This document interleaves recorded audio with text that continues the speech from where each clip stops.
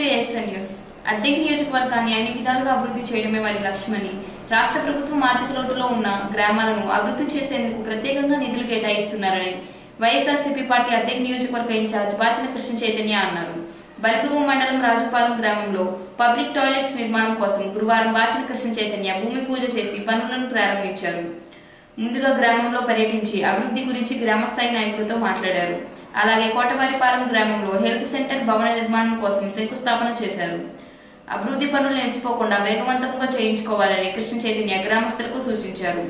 గ్రామాల అభివృద్ధి విషయంలో ఎటువంటి లోపాలు ఉన్నా ఇబ్బందులు ఉన్నా వెంటనే వారి దృష్టికి తీసుకొని రావాలని ఎంపీడీఓ శ్రీనివాసరావుకు కృష్ణ చైతన్య సూచించారు.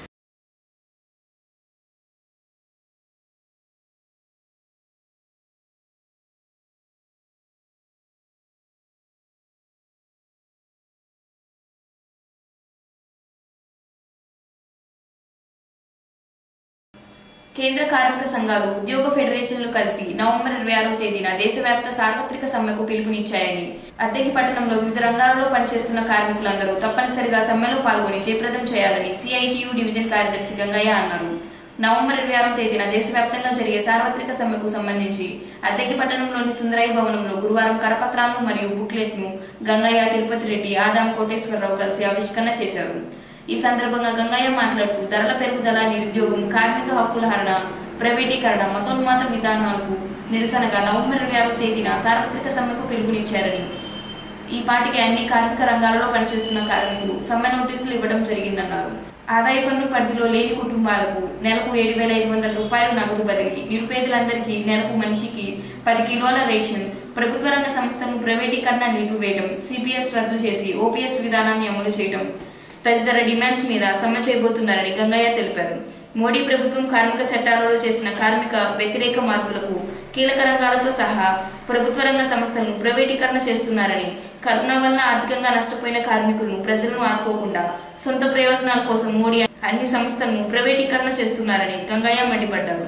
ఈ నెల ఇరవై ఆరవ తేదీన సెంట్రల్ ట్రేడ్ యూనియన్స్ ఏడు కేంద్ర కార్మిక సంఘాలు ఉద్యోగ సంఘాలు స్వతంత్ర ఫెడరేషన్లు బ్యాంకింగ్ ఎల్ఐసి పోస్టులు టెలికము కోల్ మైన్స్ స్టీల్ రంగాల్లో ఉండేటువంటి సంఘాలన్నీ కలిసి దేశవ్యాప్తంగా సార్వత్రిక సమ్మెకి పిలుపునిచ్చింది మన ప్రాంతంలో ఈ సమ్మెని జయప్రదం చేయాలి అని చెప్పేసి సిఐటి తరఫున కార్మికులకి విజ్ఞప్తి చేస్తూ ఉన్నాం. రెండవసారి నరేంద్ర మోడీ అధికారంలోకి వచ్చిన తర్వాత దేశంలో కార్మికుల సమస్యలు పరిష్కారం కాకపోగా కార్మికుల హక్కుల్ని కాలరాసేటువంటి విధానాలు మొత్తం నలభైకి పైగా ఉండేటువంటి కార్మిక చట్టాలని నాలుగు లేబర్ కోడ్లుగా మార్చారు. దీంతో ఉద్యోగ భద్రత కనీస వేతనాలు ఇతర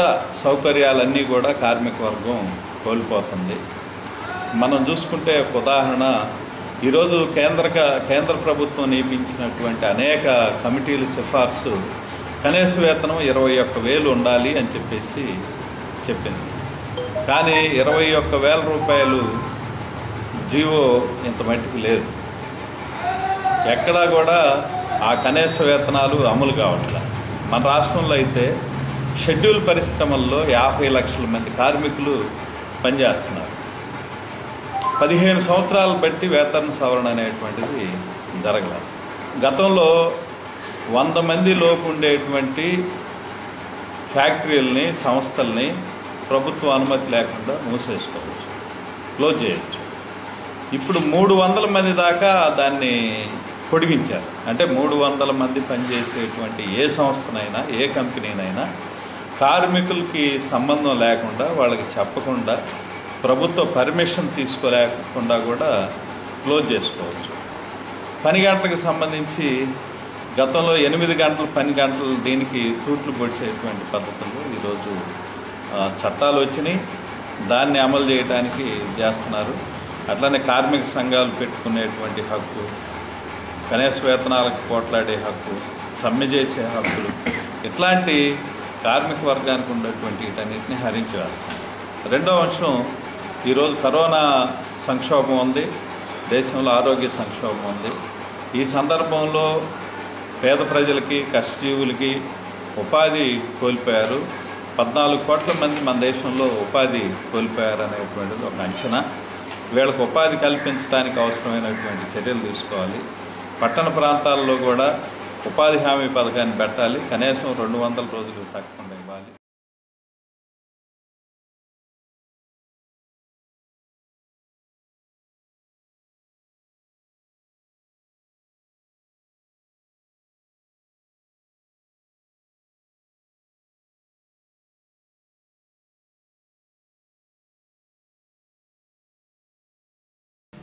అక్రమంగా మద్యం తరలిస్తున్న ఇద్దరు వ్యక్తులను గురువారం అద్దెకి ఎస్సీబీసీఐ శ్రీనివాసరావు అరెస్ట్ చేశారు.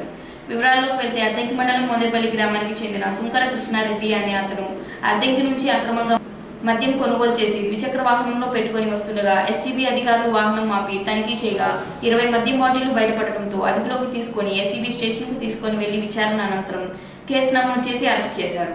అలాగే మోదేపల్లి గ్రామానికి చెందిన పోకూరి కోటయ్య అనే వ్యక్తి గ్రామంలో అక్రమంగా మద్యం అమ్ముతుండగా నిఘా ఉంచిన ఎస్సీబీసీఐ శ్రీనివాసరావు గురువారం అదుపులోకి తీసుకుని పదిహేను మద్యం బాటిళ్ళు స్వాధీనం చేసుకున్నారు. కోటయ్యను విచారణ నిమిత్తం అద్దెకి ఎస్సీబీ స్టేషన్కు తీసుకుని వెళ్ళి విచారించి అరెస్ట్ చేసి కేసు నమోదు చేయడం జరిగిందని సిఐ శ్రీనివాసరావు తెలియజేశారు. సచివాలయం పరిధిలో ఉన్న ఎన్ఎంలందరినీ ఆరోగ్య మిత్రులుగా నియమిస్తున్నారని ప్రతి ఏఎన్ఎం సచివాలయం పరిధిలో ఉన్న జనాభా ప్రకారం ఎవరికి ఆరోగ్యశ్రీ సేవలు అవసరమో గుర్తించి వారిని చికిత్స కోసం వైద్యశాలలో చేర్పించి సకాలంలో మంచి వైద్యం అందిస్తారని మొదపల్లి పిహెచ్సి వైద్యులు డాక్టర్ జయచంద్ర అన్నారు. సచివాలయం పరిధిలో ఉన్న ఎన్ఎంలకు ఆరోగ్య మిత్రులుగా నియమించగా వారు చేయవలసిన డ్యూటీల మీద అద్దెకి ప్రభుత్వ వైద్యశాలలో శిక్షణ కార్యక్రమాన్ని ఏర్పాటు చేయగా డాక్టర్ జయచంద్ర హాజరయ్యి శిక్షణ ఇచ్చి ఆన్లైన్లో వారందరికీ మెరిట్ టెస్ట్ నిర్వహించారు. ఈ సందర్భంగా ఆయన మాట్లాడుతూ ప్రజలకు ఆరోగ్యశ్రీ సేవలు అందించేందుకు ప్రత్యేకంగా ఆరోగ్య మిత్రులు ఉండేవారని రాష్ట్ర ప్రభుత్వం ఆదేశాల మేరకు ఇప్పుడు సచివాలయంలో ఉన్న ఎన్ఎంలను ఆరోగ్య మిత్రులుగా నియమించారని వారందరికీ శిక్షణ ఇచ్చి వారు చేయవలసిన పనుల గురించి వివరించారని అనంతరం ఆన్లైన్ ద్వారా మెరిట్ టెస్ట్ నిర్వహించి అందులో ఎక్కువ మార్కులు వచ్చిన వారికి ఆరోగ్య మిత్రులుగా నియమించడం జరుగుతుందని జయచంద్ర తెలిపారు. గతంలో ప్రజలు ఆరోగ్యశ్రీ కార్డును వినియోగించడంలో వెనుకబడి ఉన్నారని ఇక నుంచి అలాంటి ఇబ్బందులు కలగకుండా ప్రతి సచివాలయంకు ఆరోగ్య మిత్రులు నియమించనున్నారని ఆరోగ్యశ్రీ కార్డులు లేని వారు ఏఎన్ఎంను సంప్రదించి పొందవచ్చు అన్నారు కార్పొరేట్ వైద్యశాలలో వెయ్యి రూపాయలు దాటితే ఆరోగ్యశ్రీ పథకం కింద చేర్చుకొని ఎంత ఖర్చు అవుతుందో అంత మొత్తం రాష్ట్ర ప్రభుత్వమే భరిస్తుందని జయచంద్ర తెలియజేశారు. సో ఇప్పుడు ఉన్న సచివాలయం పరిధిలో ఉన్న ఏఎన్ఎంస్ అందరిని కూడా ప్రత్యేకంగా ఆరోగ్య మిత్రాస్గా డిజిగ్నేట్ చేస్తూ వారికి కొన్ని ప్రత్యేక విధుల్ని గవర్నమెంట్ ఇవ్వడం జరిగింది. సో ఈ ప్రత్యేక విధుల నిర్వహణలో భాగంగా ప్రతి ఏఎన్ఎం కూడా ఆ సచివాలయం పరిధిలో ఉన్న ఆ పాపులేషన్కి సంబంధించి ఈ ఆరోగ్యశ్రీ సేవలు ఎవరైతే వినియోగించుకోవాలనుకుంటున్నారో వాళ్ళకు ఒక సూచికగా ఈ ఏఎన్ఎం అనేది ఆరోగ్యమిత్రగా పనిచేస్తుంది. అంటే దాని అర్థం ఎవరికైనా ఏదన్నా ఒక గుండె జబ్బు ఉన్నా లేకపోతే కిడ్నీ జబ్బు ఉన్నా లేకపోతే ఇతర ఏ సమస్య ఉన్నా వారు అది ఆరోగ్యశ్రీ కిందకు వస్తుందా రావడం లేదా? ఒకవేళ ఆరోగ్యశ్రీ కిందకు వస్తే పలానా వ్యాధి ఏ హాస్పిటల్లో సేవలు అందుతాయి? లేదా రెండు మూడు రకాల సేవలు ఒకే హాస్పిటల్లో మల్టీ స్పెషాలిటీ ట్రీట్మెంట్ కావాలంటే ఏ హాస్పిటల్లో వాళ్ళకి వైద్యం అందుతుంది అనే విషయాన్ని అంతా కూడా ఆరోగ్య మిత్రాస్గా సోకాల్డ్ సచివాలయం ఏఎన్ఎంస్కి ఆల్రెడీ ట్రైనింగ్స్ కూడా ఇవ్వడం జరిగింది. వన్ వీక్ బ్యాకే ఈ ట్రైనింగ్స్ అయిపోయాయి. రివైజ్డ్ ట్రైనింగ్ ప్రోగ్రామ్గా ఈరోజు అనగా నైన్టీన్త్న మరలా కండక్ట్ చేయమని డిస్టిక్ వాళ్ళు ఆదేశాల మేరకు ఈరోజు మళ్ళీ రివైజ్డ్ ట్రైనింగ్ కండక్ట్ చేస్తున్నాం ఏఎన్ఎంస్ అందరికి కూడా. మార్నింగ్ సెషన్ ఈ ట్రైనింగ్స్ అయిపోయిన తర్వాత ఈవినింగ్ దాని మీద ఒక ఎగ్జామ్ కూడా పెట్టి దానికి క్వాలిఫైడ్ మార్క్స్ వస్తేనే వాళ్ళు దానికి అర్హులు అని చెప్పేసి మనకు డిస్టిక్ నుంచి తగిన సూచనలు ఇవ్వడం జరిగింది. కాబట్టి ప్రజానికం గమనించాల్సింది ఏంటంటే ఇంతకుముందు మీరు ఆరోగ్యశ్రీ ఉపయోగించుకోవడానికి కొంత ఇబ్బంది పడ్డ విషయం కొంత తెలిసిందే. బట్ ఇప్పుడేంటంటే మీ మీ సచివాలయంలోకి వెళ్ళి మీ ఏఎన్ఎంని కనుక మీరు సంప్రదిస్తే మీకు ఆరోగ్యశ్రీ కార్డు ఉన్నా లేకపోయినా ఒకవేళ లేకపోతే మీరు ఎలా దాన్ని అప్లై చేసుకోవాలి ఎన్ని రోజులకు వస్తుంది ఆ కార్డు మీకు ఎలా పొందుపరుస్తారు ఎలా ఇస్తారనేది మీ సచివాలయం మీకు ఫస్ట్ స్టెప్గా ఇక్కడ ఆ ఏఎన్ఎం ఆరోగ్య మిత్రగా పనిచేస్తుంది. రెండవది వచ్చేసరికి మనకి ఇంప్రూవైజ్ చేసింది ఆరోగ్య ఆరోగ్యశ్రీ సేవల్లో భాగంగా ఇంతకుముందు మీకు ఈ లామినేటెడ్ కార్డ్స్ ఉండేవి ఆరోగ్యశ్రీలో. బట్ కొత్తగా ఏంటంటే ప్లాస్టిక్ కార్డ్స్ అనేవి గవర్నమెంట్ తీసుకురావడం జరిగింది with specialized character with QR code. ఒక క్యూఆర్ కోడ్ కూడా దాంట్లో ఉంటుంది. సో ఆ క్యూఆర్ కోడ్ తోటి మన కనుక మొబైల్ నెంబర్తో రిజిస్టర్ చేసుకొని మనం ఒక్కసారి కనుక దాన్ని అప్డేట్ చేసుకున్నట్లయితే ఆ పోర్టల్లోనే మీరు ఏ సేవలు తీసుకున్నారు మీ యొక్క బయోడేటా ఎప్పుడు ఏ ట్రీట్మెంట్ మీరు ఏ హాస్పిటల్లో తీసుకున్నారు ఎన్ని రోజులు తీసుకున్నారు అనేది మీకు ఫ్యూచర్కి కూడా అది మొత్తం రికార్డ్ అయి ఉంటుంది. కాబట్టి ఇది ఒక అప్డేటెడ్ uh, ఫెసిలిటీ. ఈ ఆరోగ్యశ్రీ కార్డ్ అనేది ప్లాస్టిక్ కార్డ్ లైక్ జస్ట్ మన ఏటీఎం కార్డ్ లాగే వస్తున్నాయి. కాబట్టి ఇది ఒకటి ఇంప్రూవైజ్ చేశారు. కాబట్టి ముఖ్యంగా ఈ ఆరోగ్య మిత్రాల సేవల్ని మీరు ఉపయోగించుకొని ఈ ఆరోగ్యశ్రీ కార్డ్స్ కూడా మీకు త్వరితగా త్వరలో మీకు అది ఇవ్వటం కూడా జరుగుతుంది. కాబట్టి ఇది గమనించి ఇంకా మెరుగైన వైద్య సేవలు మీరు ఆరోగ్యశ్రీ ద్వారా పొందుకోవడానికి ప్లస్ ఈ వెయ్యిలో వెయ్యి పైన దాటితే ఏవైతే జబ్బులు కానీ లేకపోతే శస్త్రచికిత్సలు కానీ ఉన్నాయో అవన్నీ కూడా ఆరోగ్యశ్రీలోకి తీసుకురావడం జరుగుతుంది.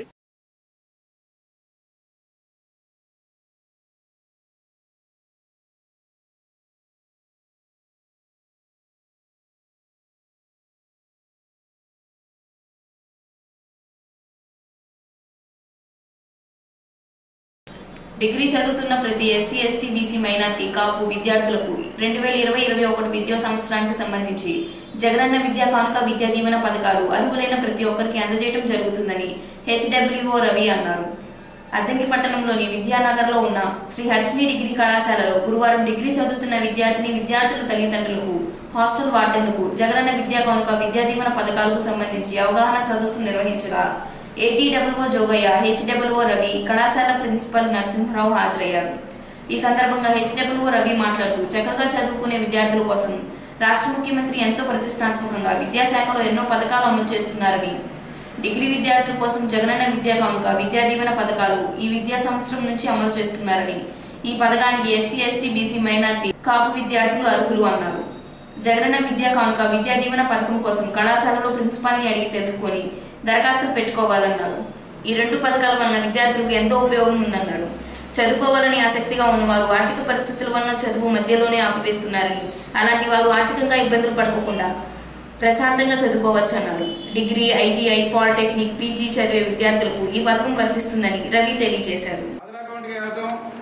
ఆ తర్వాత అవి నాలుగు నాలుగు ఇన్స్టాల్మెంట్లో వాయిదాల్లో పడటం అవి ఒక్కొక్క వాయిదాని మళ్ళీ మన కాలేజీ యాజమాన్యానికి పే చేయడం అది జరుగుతూ ఉంటుంది. తర్వాత ఆ పేరెంట్స్ కూడా కాలేజీకి వెళ్ళి వాళ్ళ అమ్మాయి కానీ అబ్బాయి కానీ ఏ విధంగా చదువుతున్నారు అక్కడ ఫ్యాకల్టీ ఎలా ఉంది స్టాఫ్ ఎట్లా ఉన్నారు తర్వాత పరిసరాలు ఎట్లా ఉన్నాయి అవి చూసుకొని మాకు సంతృప్తికరంగా ఉన్నట్టయితే ఆ పిల్లల్ని అక్కడ ఉంచుతారు లేదంటే వేరే కాలేజీకి తీసుకెళ్తున్నాయి ఏదైనా ఇతరత్ర ఉంటాయి. దానికి సంబంధించినటువంటి జీవో కూడా క్లియర్గా అరవై నాలుగో జీవో ఒకటి ఇచ్చారు. అది మన ఆరో తారీఖున రిలీజ్ చేయడం జరిగింది. దానికి సంబంధించినటువంటి పూర్తి వివరాలు. ఫామ్ అయిన తర్వాత తొమ్మిది రకాల స్కీమ్స్ తీసుకురావడం జరిగింది. వాటిలో ముఖ్యంగా విద్య ఆరోగ్యంలో ఎక్కువ స్ట్రెస్ చేయడం జరిగింది. సో విద్యకు సంబంధించి చాలా కొన్ని స్కీమ్స్ నాడు నేడు మీరు పేరే ఉంటారు. స్కూల్స్కి సంబంధించి స్కీమ్స్ ఇంప్లిమెంట్ చేస్తున్నారు. అదే కాలేజీ విషయంలోకి వచ్చేసరికి జగనన్న విద్యా దీవెన స్కీము జగనన్న వసతి దీవెన అనే ఒక కొత్త స్కీమ్స్ రెండు స్కీమ్స్ రిలీజ్ చేయడం జరిగింది. సో ఆ స్కీమ్స్ డీటెయిల్స్ ఎవరు ఎలిజిబిలిటీ ఆ జీవోఎస్ నెంబర్ ఫార్టీ అరవై నాలుగు సిక్స్టీ ఫోర్ గురించి మీకు కొంచెం డీటెయిల్గా చెప్తాను ఎవరు ఎలిజిబుల్ ఎలా అప్లై చేయాలి ఆ డబ్బులు ఎలా వస్తాయి ఓకే? సో ఫస్ట్ జగన్ ఈ రెండు schemes Vidya Deevena Vasathi Deevena November twenty seventh two thousand nineteen రెండు వేల పంతొమ్మిదిలోనే రివ్యూ చేయడం జరిగింది. అప్పుడే నోట్ అనౌన్స్ చేశారు. ఓకే? కానీ కరోనా వల్ల అప్పుడు అకాడమిక్ ఇయర్ లేదు కాబట్టి ఈ స్కీమ్ని రెండు వేల ఇరవై రెండు వేల ఇరవై ఒకటి ఇంప్లిమెంట్ చేయాలని చూస్తున్నాం సో ఇయర్ కాలేజ్లో జాయిన్ అయిన ప్రతి ఒక్కరూ ఈ రెండు స్కీమ్స్కి ఎలిజిబుల్ సో ఈ స్కీమ్ ఎప్పటి నుంచి మొదలైందంటే రెండు వేల ఇరవై రెండు వేల ఇరవై ఒకటి విద్యా సంవత్సరం నుంచే ఈ స్కీమ్స్ రెండు ఇంప్లిమెంట్ చేయడం జరుగుతుంది నెంబర్ వన్ సో ఆ స్కీమ్స్ ఎప్పటి నుంచి మొదలు పెట్టారని చెప్తే ఈ Jagananna Vidya Deevena scheme April twenty eight two thousand twenty ఈ ఈ ట్వంటీ ట్వంటీలోనే చేయడం జరిగింది. ఓకే దాన్ని లాంచ్ చేశారు గవర్నమెంట్ ముఖ్యమంత్రి గారు. ఆ ఇరవై ఎనిమిది ఏప్రిల్ రెండు వేల ఇరవైన ఈ విద్యా జగనన్న విద్యా దీవెన స్కీమ్ని అలానే ఫిబ్రవరి ఇరవై నాలుగు రెండు వేల ఇరవైలోనే వసతి దీవెన ఈ రెండు స్కీమ్స్ని ఇంప్లిమెంట్ చేయడం జరిగింది. సో ఒక్కొక్క స్కీమ్ గురించి చెప్తాను. ఫస్ట్ జగనన్న విద్యా దీవెన. ఇది basically those who are not able to pay their tuition fees and their stopping their education ఎవరైతే చదువుకోగల కెపాసిటీ ఉండి నాలెడ్జ్ ఉండి డబ్బులు కట్టలేక ఎవరైతే మానేస్తున్నారో వాళ్ళకు పూర్తి fee hundred percent fee reimbursement so ఎవరికైతే చదువుకోవాలి ఉంది వాళ్ళకైనా కాలేజ్లో జాయిన్ అయితే వాళ్ళకి హండ్రెడ్ పర్సెంట్ ఫీజు ఇస్తుంది. ఆ ఫీజు ఎలా డిసైడ్ చేస్తున్నారంటే కాలేజీని బట్టి. కాలేజ్ ఇప్పుడు సపోజ్ ఇది ఎవరికి ఇంప్లిమెంట్ అవుతుందంటే ఐటీఐ వాళ్ళకి పాలిటెక్నిక్ వాళ్ళకి మీలాంటి గ్రాడ్యుయేట్స్. గ్రాడ్యుయేట్స్ అంటే ఎవరైనా బీఎస్సీ బీఏ బీకామ్ బీజెడ్సీ ఏదన్నా బీసీ ఏదైనా గ్రాడ్యుయేట్స్ కానీ ఇంజనీరింగ్ వాళ్ళకి బీఫార్మసీ వాళ్ళకి ఎంసీఏ వాళ్ళకి ఎంబీఏ వాళ్ళకి అందుకే so graduates and higher graduates. Professional courses కూడా బీఎడ్ డిఎడ్ ప్రొఫెషనల్ కోర్సెస్ కూడా అందరూ ఈ స్కీమ్కి ఎలిజిబుల్. ఇక నుంచి సచివాలయం పరిధిలో ఉన్న ఏఎన్ఎంలందరూ ఆరోగ్య మిత్రులుగా బాధ్యతలు నిర్వహించాలని ఆరోగ్యశ్రీ పథకానికి గతంలో ఆరోగ్య మిత్రులు ఉండేవారని ఇప్పుడు ఏఎన్ఎంలే ఆరోగ్య మిత్రులు అని ప్రాసంగులపాడు పిహెచ్సి వైద్యులు డాక్టర్ శశికళ అన్నారు. ప్రాసంగులపాడు పిహెచ్సిలో గురువారం సచివాలయం పరిధిలో ఉన్న ఏఎన్ఎంలకు ఆరోగ్య మిత్రులుగా చేయవలసిన పనుల గురించి శిక్షణ ఇచ్చారు. గ్రామాలలో ఉన్న ప్రజలకు ఆరోగ్య మిత్రులుగా నియమితులైన సచివాలయం ఏఎన్ఎంలు ఆరోగ్యశ్రీ గురించి పూర్తి స్థాయిలో అవగాహన కల్పించి ఆరోగ్య కారణంగా ఎవరికైనా శస్త్రచికిత్సలు చేయాలనుకుంటే ఆరోగ్యశ్రీ పథకం ఉన్న వై- వైద్యశాలలు వారితో మాట్లాడి వారిని చేర్పించవలసిన బాధ్యత ఏఎన్ఎంలదే అని శశికళ తెలిపారు. గ్రామంలో ఎంతమంది జనాభా ఉన్నారు? వారందరికీ ఆరోగ్యశ్రీ కార్డులు ఉన్నాయో లేదో తెలుసుకొని కార్డులు లేని వారికి ఆరోగ్యశ్రీ కార్డులు ఇప్పించాలన్నారు. వైద్యశాలలో వెయ్యి రూపాయలు దాటితే ఆరోగ్యశ్రీ కింద వర్తిస్తుందని శశికళ చెప్పారు గవర్నమెంట్ ఉద్యోగం చేస్తూ రిటైర్ అయిపోయిన వాళ్ళకి వాళ్ళ మీద ఆధారపడి ఉన్నటువంటి వాళ్ళకి మాత్రమే ఇది ఉచితంగా చేసేది. వీళ్ళకి సంవత్సరానికి సంవత్సరానికి కాదు. వాళ్ళు సంవత్సరానికి ఎన్ని సార్లు హాస్పిటల్లో అడ్మిట్ అయితే అన్ని సార్లు టూ ల్యాక్స్ అమౌంట్ వరకు free. More than two lakhs అయితే వాళ్ళు పర్సనల్గా పే చేసుకోవాలి. ఇంకోటి వర్కింగ్ జర్నలిస్ట్ హెల్త్ స్కీమ్. మీరు వీడియోలో అవి తీయకండి. ఏఎస్ఎన్ న్యూస్ ఇంతటితో సమాప్తం. నమస్కారం.